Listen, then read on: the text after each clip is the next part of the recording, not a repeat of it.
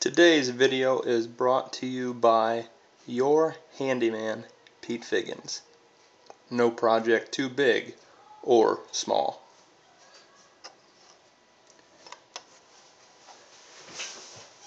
Today I'm going to show you how to use the Martin Yale paper folder.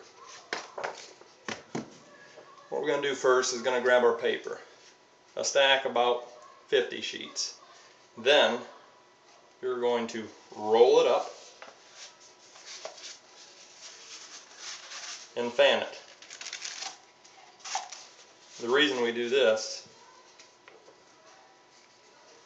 is so the paper looks like that before we put it in the machine. You're going to take your paper so the closest sheet is the furthest out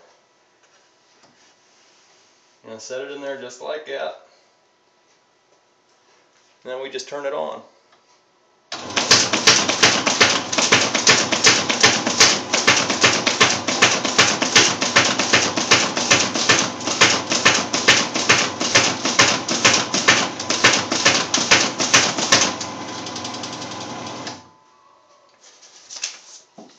There you have it folks.